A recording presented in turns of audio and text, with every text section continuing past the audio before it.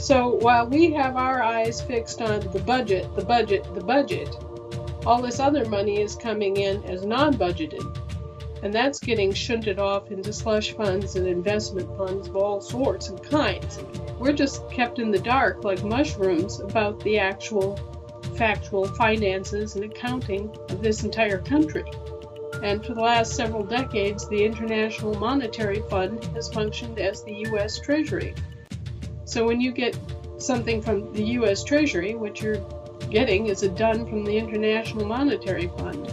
You don't know who you're addressing or who's addressing you at any given time.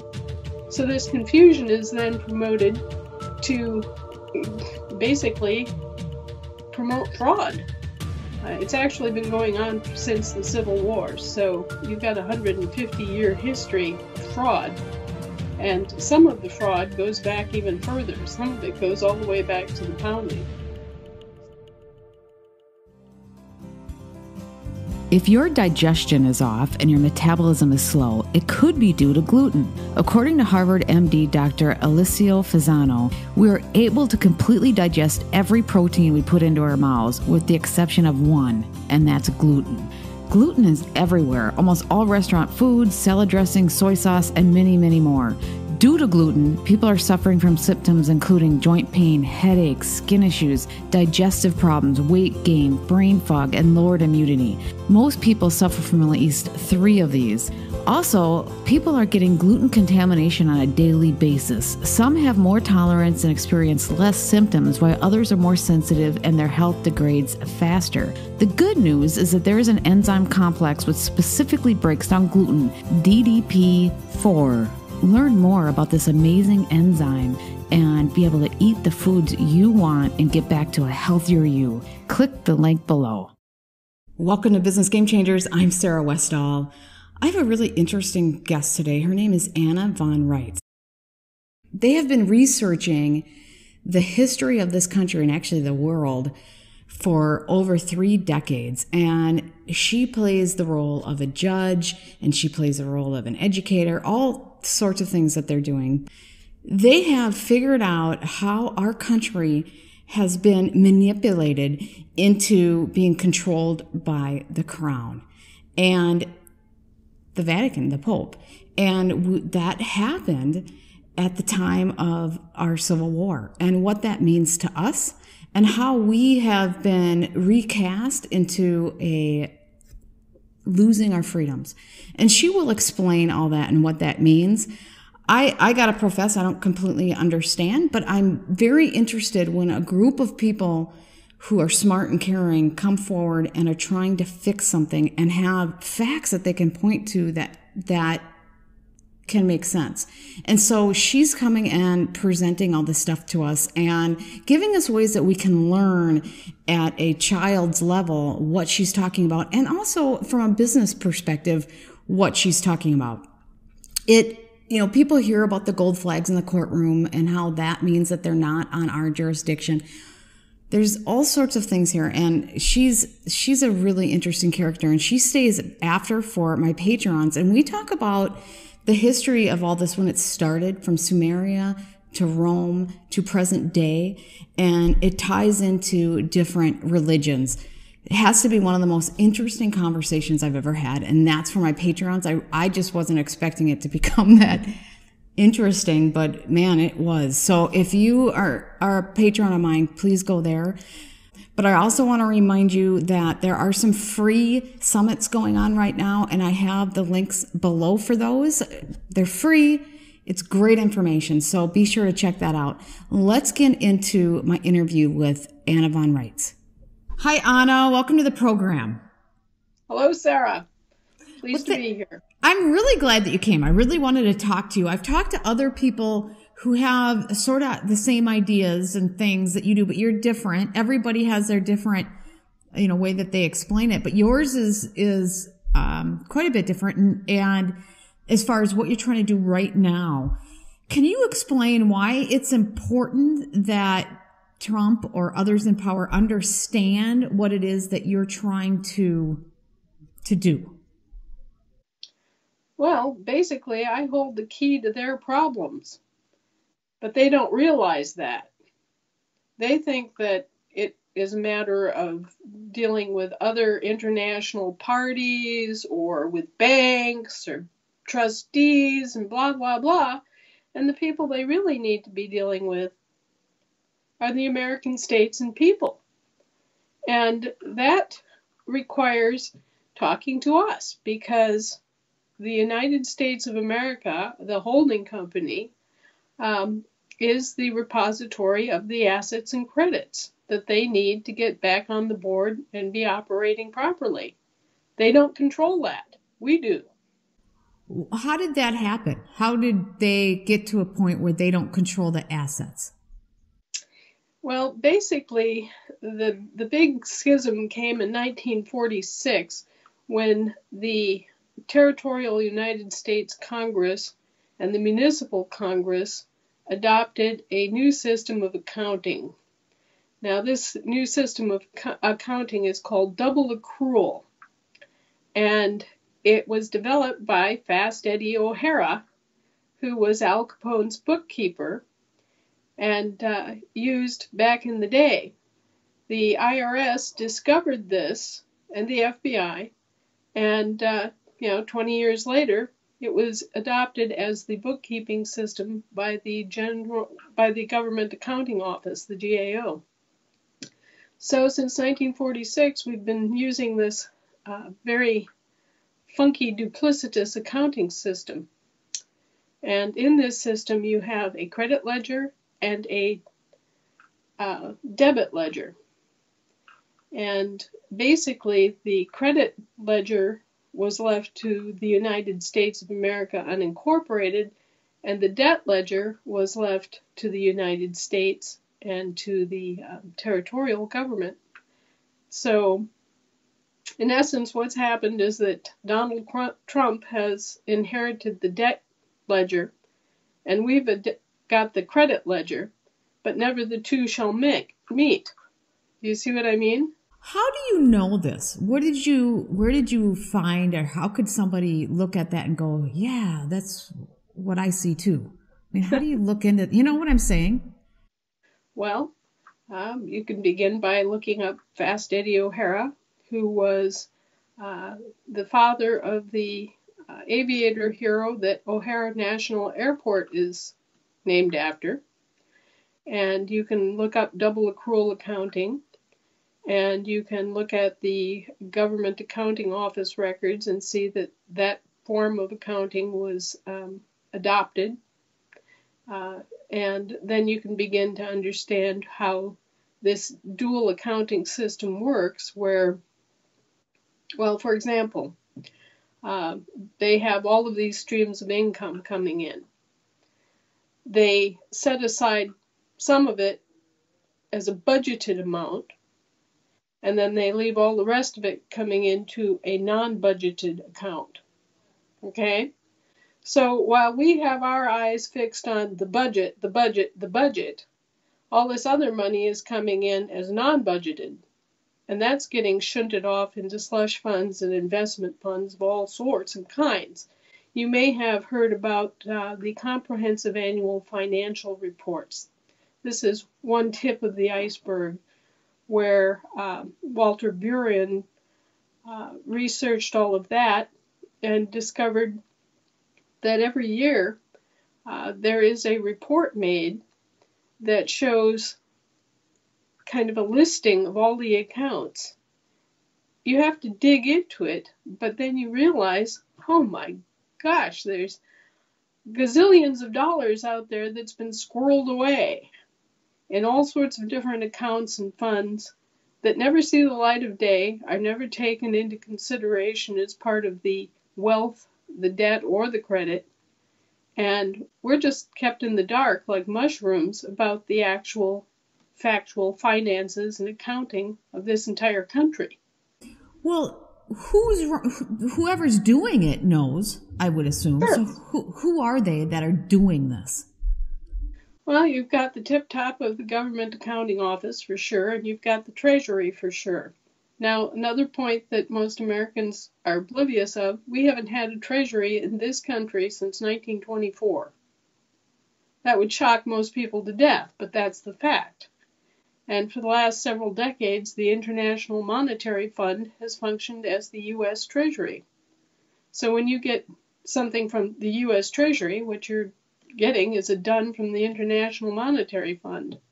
And there are all sorts of different names for different things uh, that are very confusing. You've got the U.S. Department of the Treasury, you've got the Department of the Treasury, you've got the Department of the United States Treasury. I mean, they've thought up all these different names so that unless you're really sharp and looking and know what you're looking at, you don't know who you're addressing or who's addressing you at any given time. So this confusion is then promoted to basically promote fraud. Well, sounds like fraud, but how how can a, a person, Trump or anybody else, dig into it and understand it? What would you suggest somebody does to actually be able to look at this and go, okay, I, I'm starting to get the picture here? Well, we've written three books. Uh, they're available on Amazon under my name, Anna Maria Riezinger, or Anna von Reitz, either way. My name is kind of confusing because it's long and because I took a pen name about 30 years ago, Anna von Reitz, which is a, it's a shortened version of my actual family name, von Reichenstein. And um, so, anyway, you can get the basics there. Uh, there are a lot of references and citations that are given.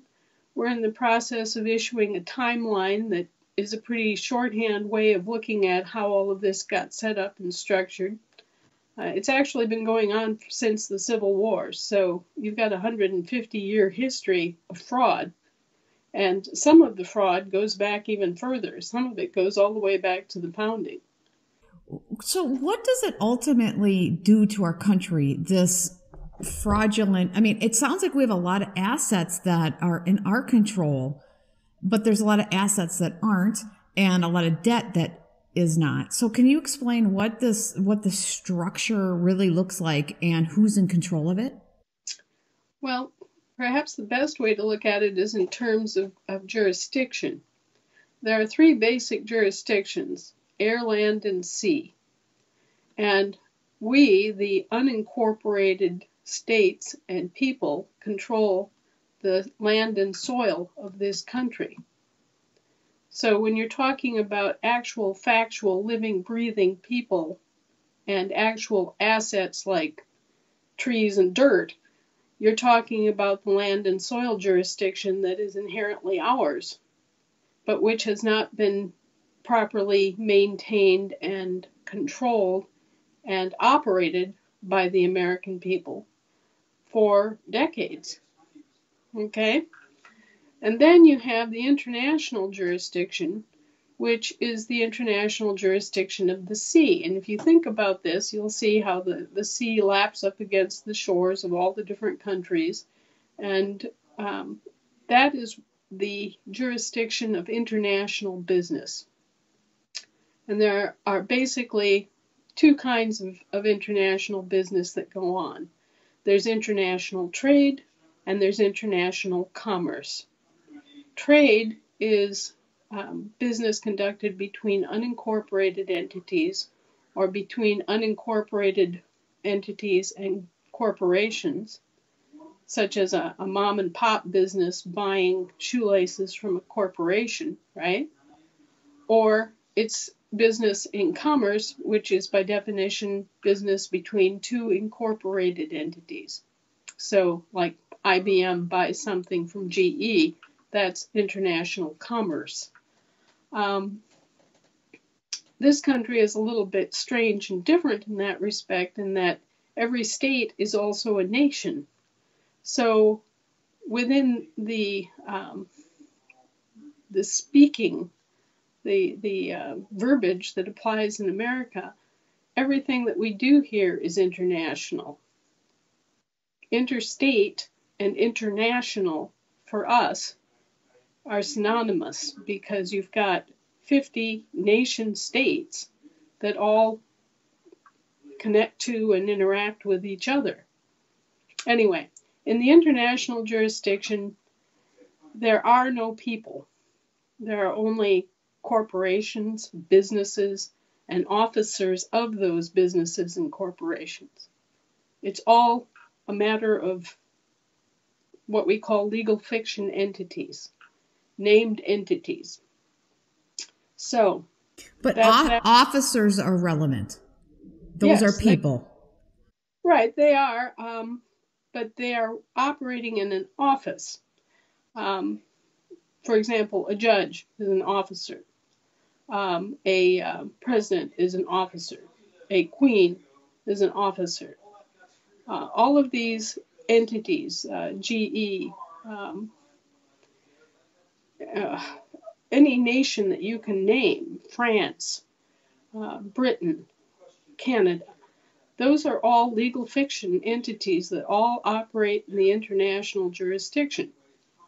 And so when they're operating in that capacity, they are a distinct thing apart from the land and soil of, say, Canada or the actual living people. How are people, uh, you know, people talk about self determination. How does that tie into this situation? Well, self determination and self governance are actually pretty much synonymous concepts. Um, it's the ability that we have as living, breathing, sentient beings to make decisions about how we live our lives and how we organize our civilizations, our our business affairs, and everything else. And unfortunately, we were sort of lulled to sleep or uh, enticed by wrong assumptions to stop functioning in self governance we were not aware of what was happening at the time and we were not told.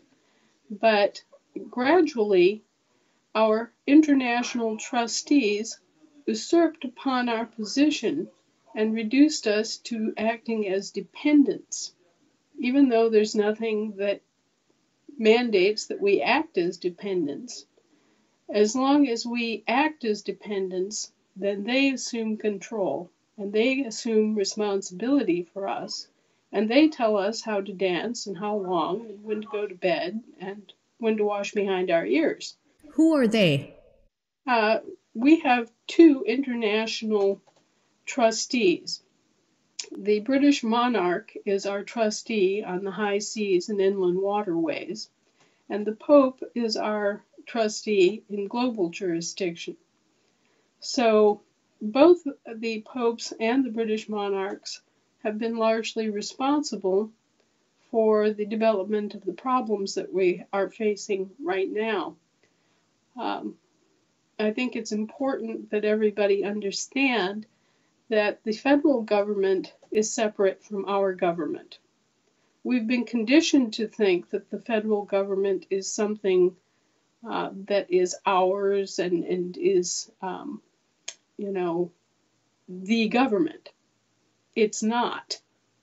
The federal government is under contract to provide services to our government. And it's always been that way.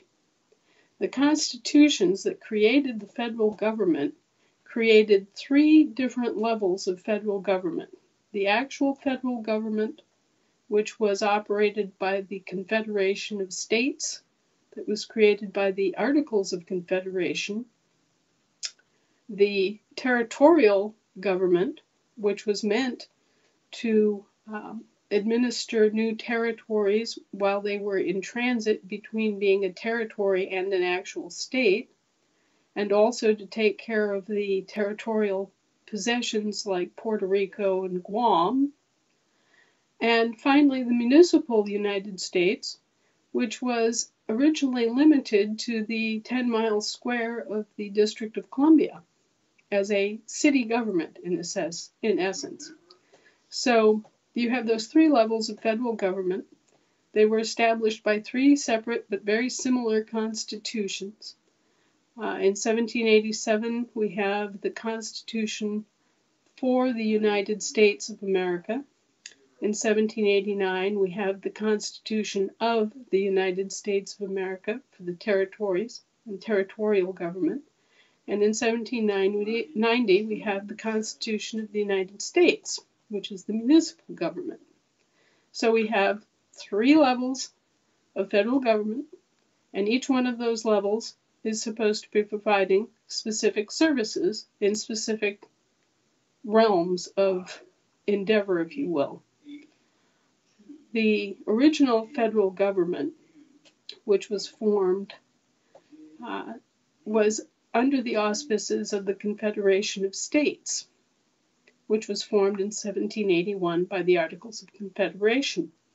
Each one of the states, the actual states, had a doing business entity called the state of. So you had Georgia first, and then you had the state of Georgia, right? And this state of Georgia, this federal state of Georgia, um, as it were, after 1787, was always named with a capital T on the, and the was made part of the actual name so that the proper federal state was called the state of Georgia, and the was part of the name, and the was always capitalized. Anyway, so those states were mothballed in the wake of the Civil War. They were put under Reconstruction. And the Reconstruction was never completed. You can go to the Library of Congress or the National Archives and you can ask about this, and you will find that the Reconstruction Acts that were put in place in 1866 67 um, are still in effect. Most of them have never been altered or repealed in any respect.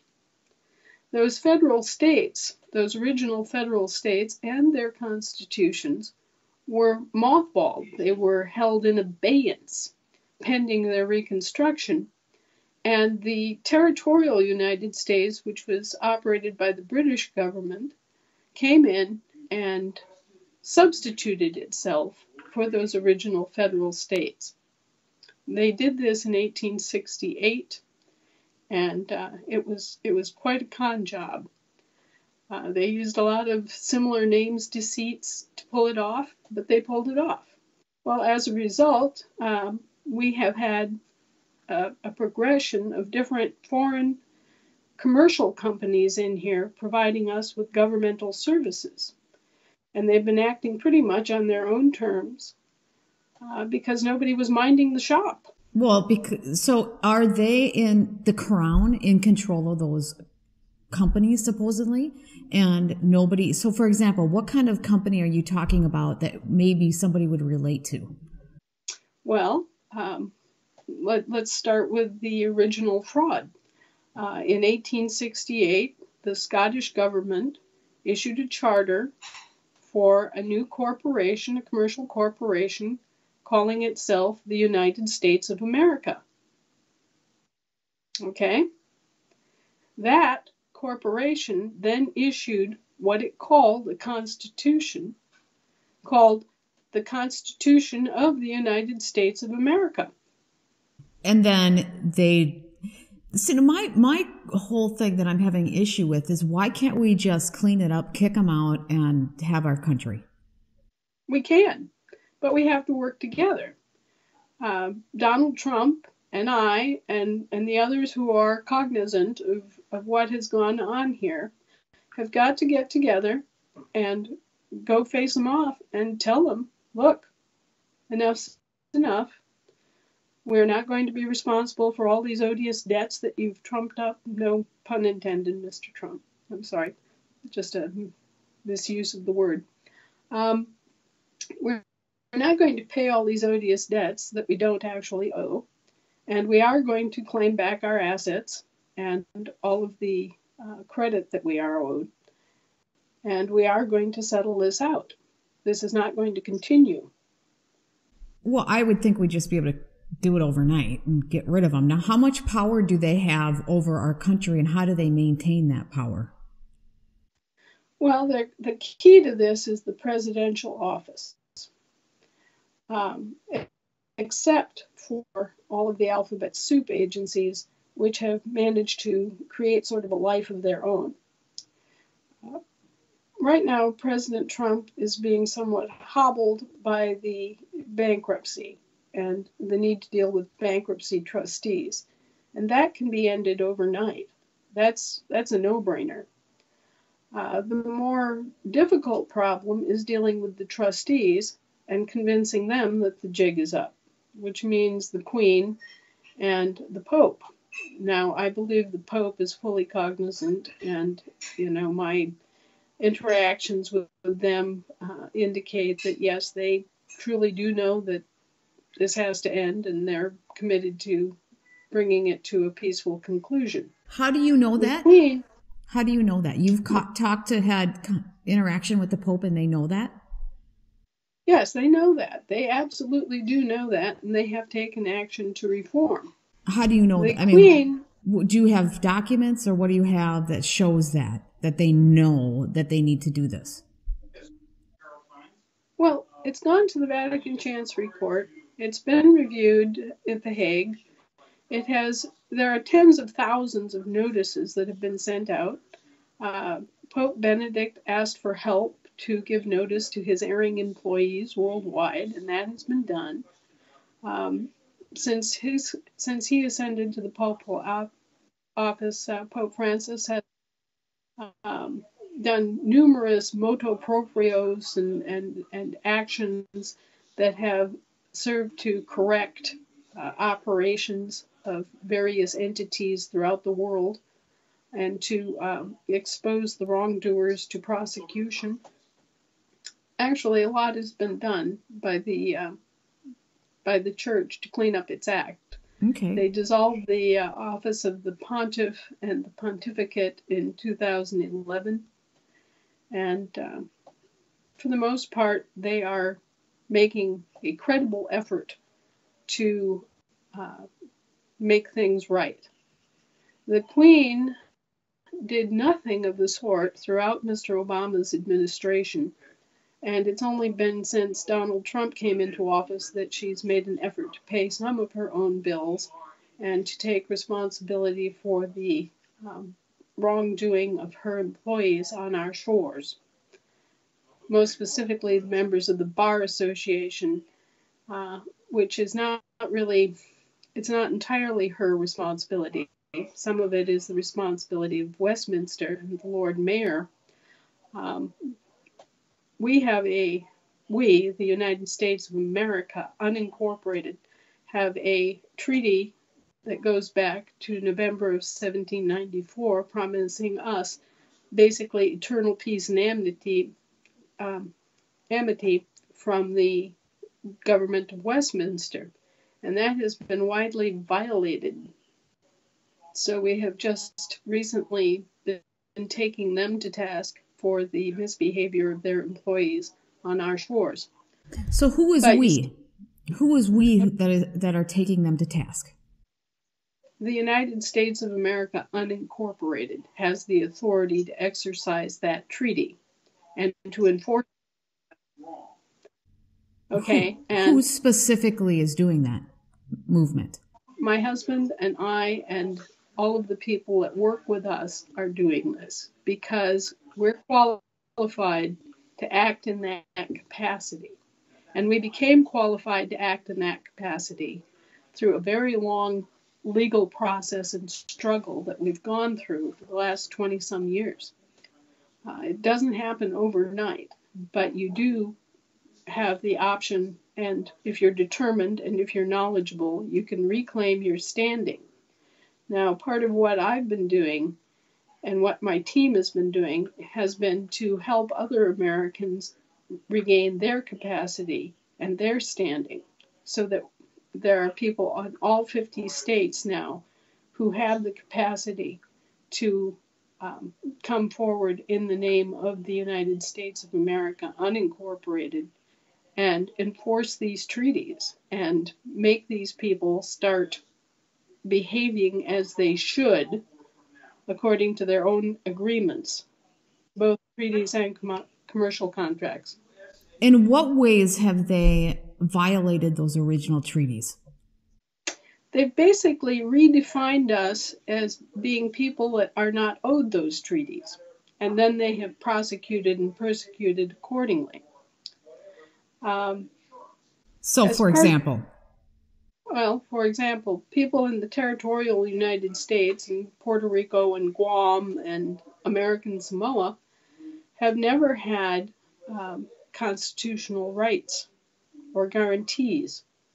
They've always been outside of the constitutional network, if you will. Now, I don't agree with that. I don't like that. But that's the way it's been because they were under the thumb and forefinger of the British king. The British monarch uh, was left in charge of operating the territorial United States government as a trustee. And so they never had any constitutional guarantees. That's why when you go into a U.S. district court and start talking about the Constitution and your constitutional guarantees and your Bill of Rights, they look at you and they say, I'm going to hold you in contempt of court if you say another word about the Constitution. They're right because they are viewing you as a territorial citizen, okay? And territorial citizens have never had any recourse to the Constitution. How many people actually understand this and actually enforce it at a high level? Unfortunately, not a lot. Uh, I would say we now have somewhere in the neighborhood of 1,200 people that actually truly do understand the um, the fraud and the conundrum and the semantic deceit uh, to the extent that they can actually enforce against them. But that number is growing. Well, how many people on the other side that are perpetrating the fraud and the deceit are knowingly doing that? Ironically, probably not that many more than than on our side of the issues. Um, I really truly believe that 90% of those who are involved, probably 95% of those involved in enforcing the fraud and deceit, are unaware. They, they just do it blindly. They do. Well, this system is highly compartmentalized. You only know what you need to know about your particular function. So you can be sitting there at your desk, at your computer terminal, entering information on a computer screen and think nothing about it. I mean, your job is to enter it on the computer screen. Da da, you do it. Where it goes from there or who uses it for what purposes, you don't know. So you're innocent, but you're contributing to the fraud and you're contributing to the evil that ultimately results, unaware of what your work is serving. So the people that are perpetrating this fraud that do are aware, are they doing it knowingly and forcefully to make sure they can keep the system going? Absolutely. And they're doing it for their economic self-interest. This is about enslaving people and assets and palming off debts and all sorts of commercial crimes. These are commercial crimes. They have nothing to do with politics. It's nothing ever to do with politics. And what kind of commercial crimes? Can you give an example? Are we talking child trafficking? Yes, human trafficking. In a very real way, we've all been trafficked.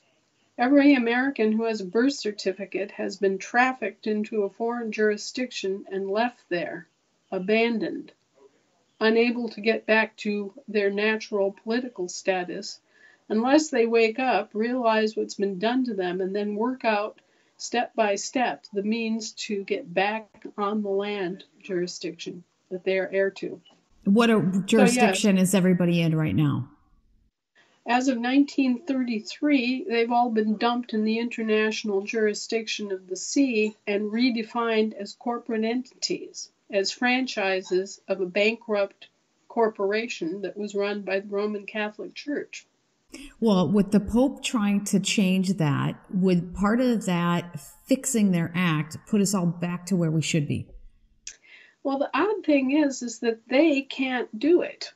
We have to do it.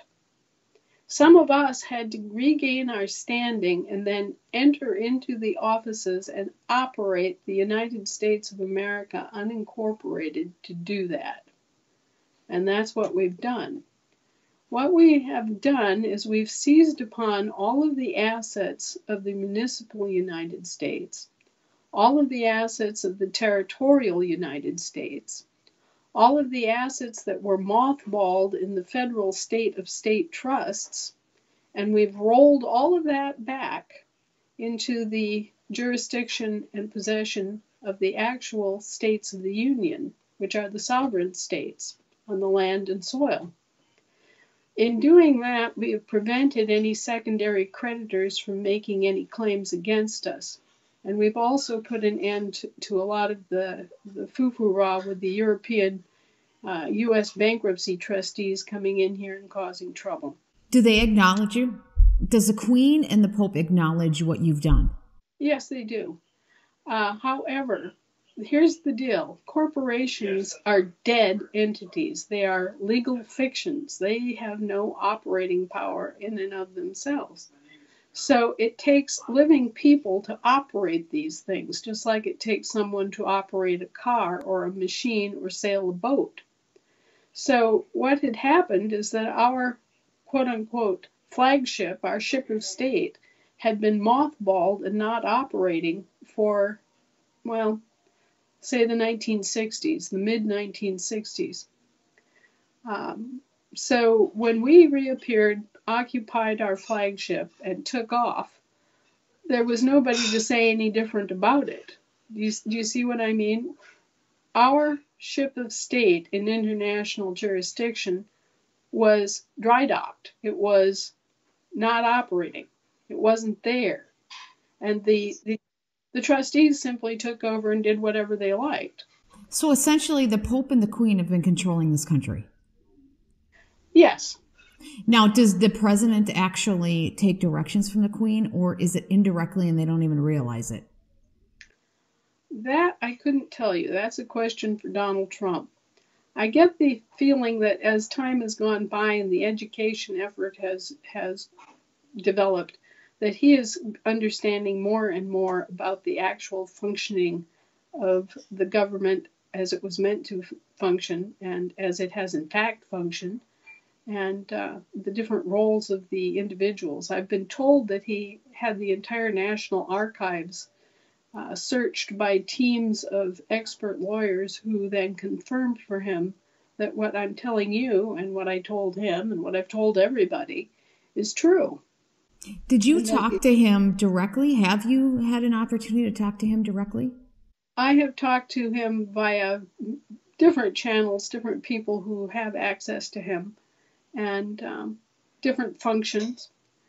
Uh, I think that initially they thought we were crackpots. I think that they have since learned differently, and I think that we are coming closer and closer to a point when uh, they realize that they're shadow boxing with themselves and that we are not the enemy and that we're not some group of subversives and that we're simply uh, shedding light on aspects of the history that have been ignored, misunderstood, and profited upon by rather sleazy characters that took advantage of the situation.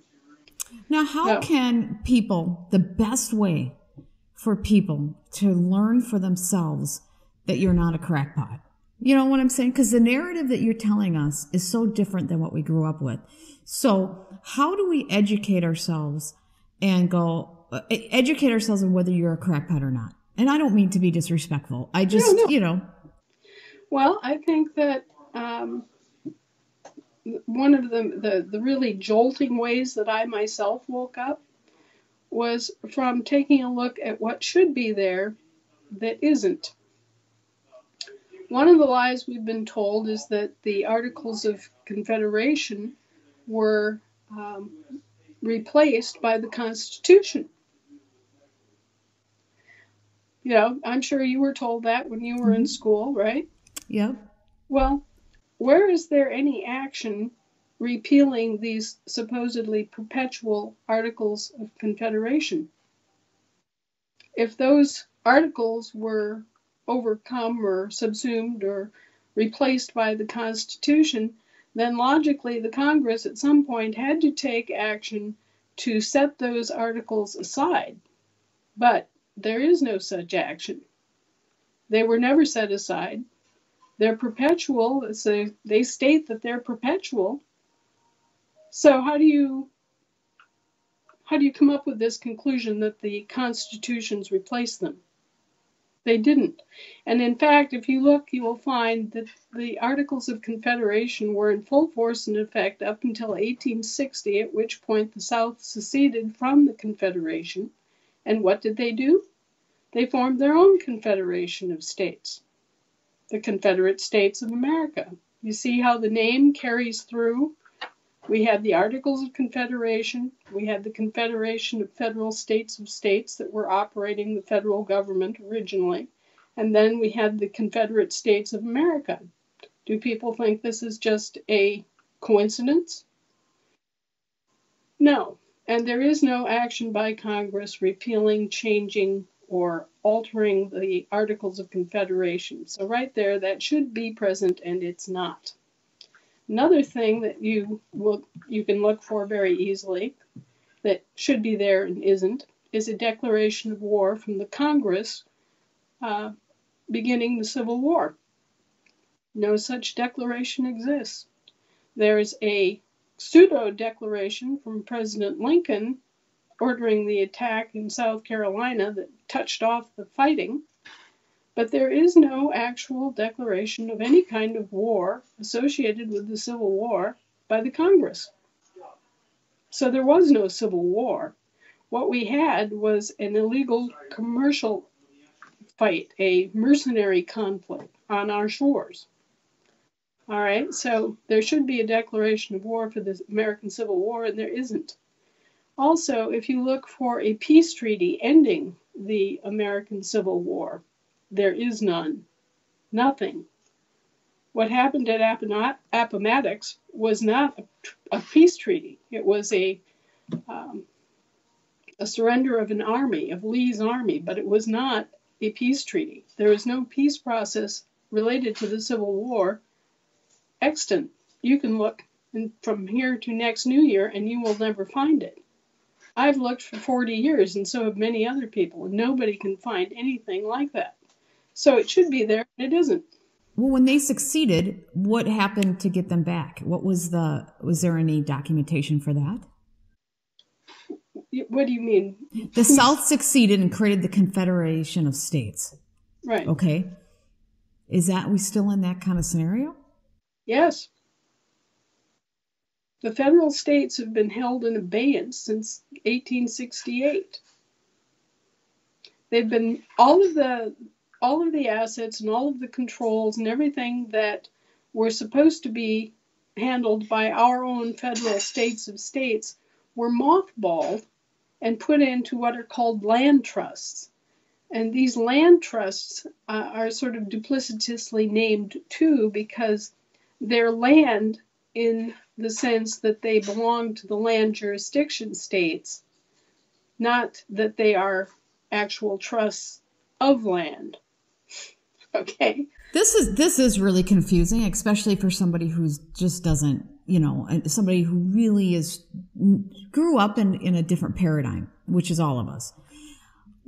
Where can they find more information and start to do uh, their own research? What would you say is the best way for a person to do that? And then what is the best way for Trump and his administration to do that? Well, we provided kind of a primer, like a sixth grade level primer, with our book, which is uh, called You Know Something is Wrong When An American Affidavit of Probable Cause.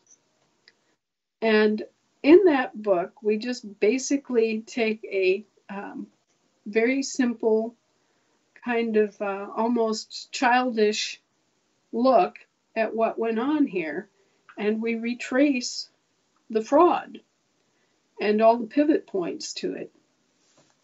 So if you read that as a basic primer, you'll pick up some of the citations right there and you'll see the progression of it up to the current day. At the back of that book is the actual affidavit, which is testimony in the form of an affidavit.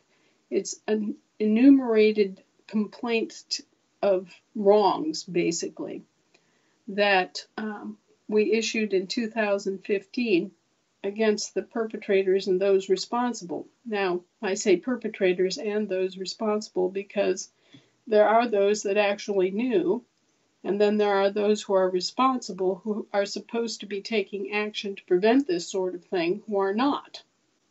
And so um, you'll see the entire enumerated uh, claim uh, in that book, and at the very back you'll see an appendix.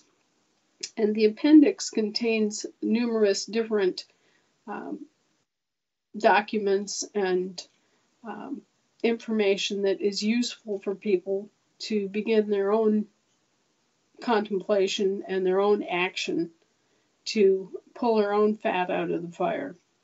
Now, throughout all of this, you know, my husband and I and the others associated with us could have been acting just for ourselves, and we could have just gotten our own standing and, and released our own estate and gotten all sorts of money for ourselves. But we didn't do that. What we did was we brought along everyone else and we protected all of their property too.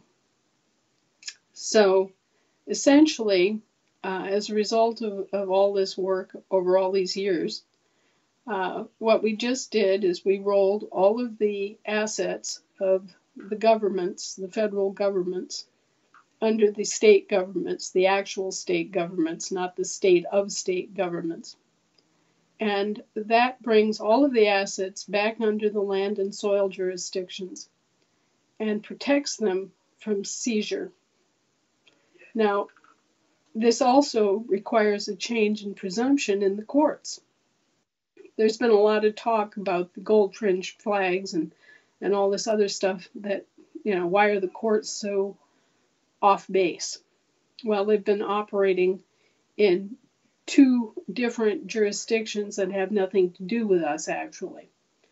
And they've been operating under false presumptions with regard to us. When we did this, what we did, what we did is basically a lawful conversion to correct the unlawful conversion that FDR pulled off in the 1930s. He put everybody out at sea and mischaracterized us as corporate franchises of his own bankrupt corporation. Whereas what we have done is to reverse that and bring everybody back onto the land where the presumption has to be that we are acting as living people and not as corporate franchisees.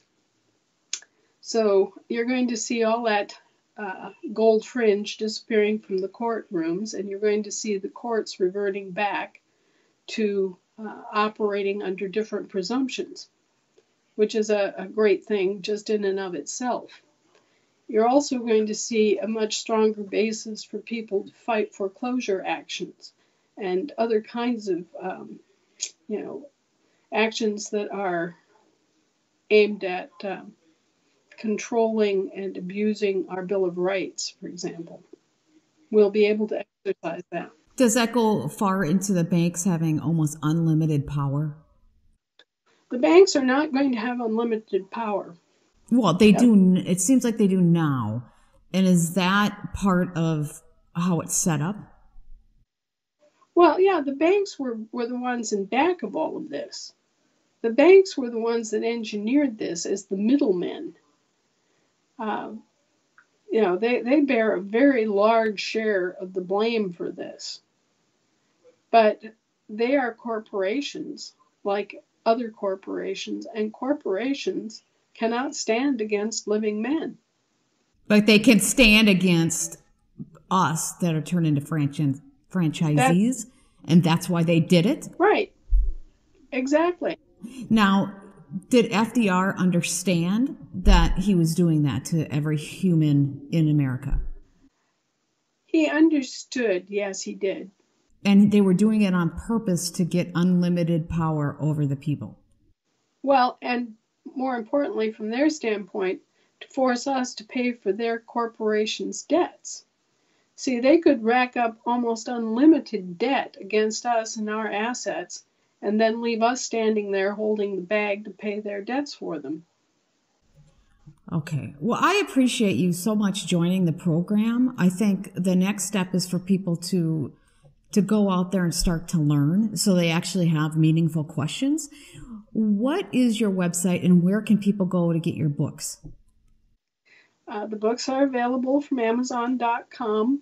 Um, basically, they there are three of them. There's Disclosure 101, which is kind of explains the history of how I got involved in this. Uh, I I had a background that was totally different than anything to do with this, um, but it explains the history of that and then how I got involved in the correction with the, the church, um, how we went to Rome and complained. and, and you know all of that, and then the um, the notice process, giving due notice to the uh, to the Pope's employees and to people throughout the world. We've got tens of thousands of uh, notice actions and due process actions and, and hundreds of court actions that are in place that were started in 1998 and continued through, and then 2008 was another big push. Um, so, Disclosure 101 gives that history. Okay. It also gives 11 pages of citations and references, um, key bits of legislation and uh, key references in the congressional record, and you know things of that sort that form kind of a basic basis to understand who did what when and how it worked together.